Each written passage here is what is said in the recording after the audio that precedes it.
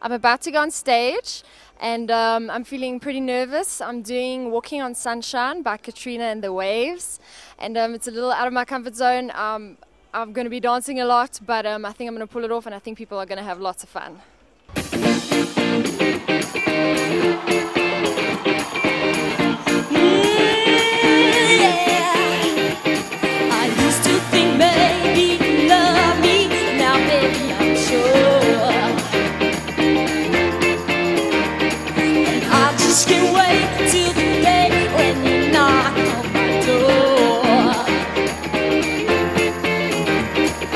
Every time I go for the mailbox, gotta hold myself